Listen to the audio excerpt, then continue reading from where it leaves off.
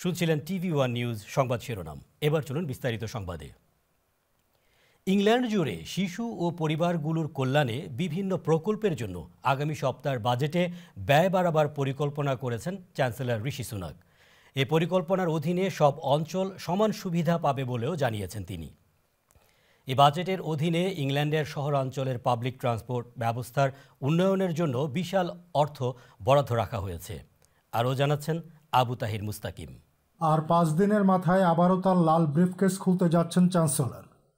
জানিয়েছেন, শিশুরা যাতে সবচেয়ে সুন্দরভাবে তাদের জীবন শুরু করতে পারে, সেটাই চান তিনি। তাই বুধবারের বাজেটে পরিবারগুলোর জন্য পাঁচশো মিলিয়ন পাউন্ডের বাজেট বরাদ্দ রাখা হবে। তার মধ্যে একশো মিলিয়ন পাউন্ড বরাদ্দ থাকবে নতুন দম্পতি ও নতুন বাবা মাদের মানসিক স্বাস্থ্যের জন্য। আর সাপোর্টিং ফ্যামিলিস প্রোগ্রামের অধীনে সবচেয়ে ঝুঁকিপূর্ণ পরিবারগুলোর সহায়তার জন্য অতিরিক্ত দুশো মিলিয়ন পাউন্ড বরাদ্দ রাখা হচ্ছে।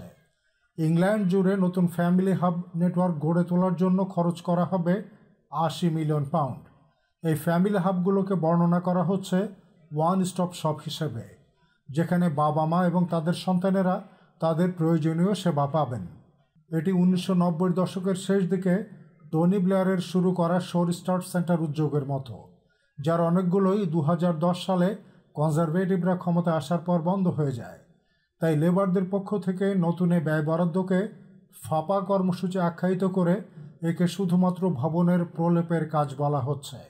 তবে সরকার মনে করছে, নতুন এই হাবগুলো স্টার্ট সেন্টারের নতুন সংস্করণ তা সব বয়সী শিশু ও তাদের বাবা মাকে সহায়তা করবে। আগামী সপ্তাহের বাজেটে ইংল্যান্ডের শহর অঞ্চলের পাবলিক ট্রান্সপোর্ট ব্যবস্থার উন্নয়নে বিশাল অর্থ বিনিয়োগ করা হবে। ট্রেন, ট্রাম, বাস এবং সাইকেল প্রজেক্ট সহ এর সব প্রকল্প এতে লাভবান হবে বলে আশা করছে সরকার। এর জন্য বরাদ্দ করা হচ্ছে ছয় দশমিক নয় বিলিয়ন পাউন্ড। পরিকল্পনা অনুযায়ী স্কটল্যান্ড, ওয়েলস এবং নর্দার্ন আয়ারল্যান্ডও এ খাতে অতিরিক্ত বরাদ্দ পাবে।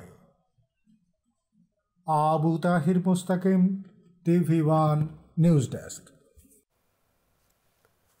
যুক্তরাজ্যে কয়েকজন মন্ত্রীর সাথে সাক্ষাৎ করে কারি ব্যবসায়ীদের বিভিন্ন সমস্যা তুলে ধরেছেন কারি ব্যবসায়ীদের অন্যতম সংগঠন বিবিসি এর নেতারা।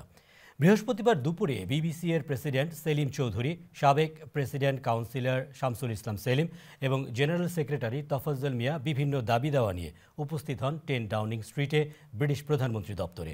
এ সময় কয়েকজন মন্ত্রীর সাথে আলোচনায় কারি ব্যবসায়ী নেতারা বিভিন্ন সমস্যা তুলে ধরে তা সমাধানের দাবি জানান।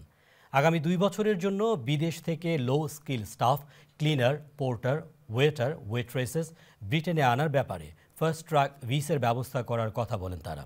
আগামী দু হাজার তেইশ সাল পর্যন্ত ভ্যাট সাড়ে বারো শতাংশ অব্যাহত রাখার দাবি জানিয়ে বিবিসি এর নেতারা বলেন ভ্যাট বিশ শতাংশ করা হলে কারি ব্যবসায় ধস নেমে আসবে।